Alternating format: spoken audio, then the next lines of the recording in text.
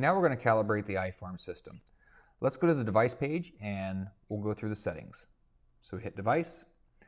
I am currently connecting to, connected to an iFarm cart. Um, my standards for sensitivity and rated capacity is 0.4 and 41680. If you have a three-point scale system, this number will be different. Rated capacity does not mean the total weight that the grain cart can hold. It just means a calibration number. It's a good starting point. So we use 4160 41680 for our starting point. If you're coming from another scale system, you can type in that calibration number into that field. And as long as your calibration factor is one, you can use that and get going. So right now, my iFarm is a little bit off. Last time I used it, I unloaded 50,000 pounds and it came back as saying it was 52,000 pounds.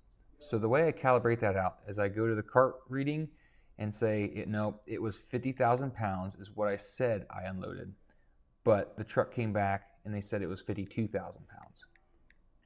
Type in those two numbers, hit calculate, it'll update your calibration factor. Just hit save settings. It's going to say we're going to increase by 4%, save now.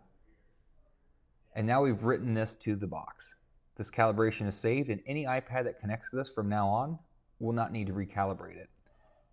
Go back to the main display page and our numbers are calibrated for the next time. Calibration only affects future unloads. It never goes back and fixes old unloads.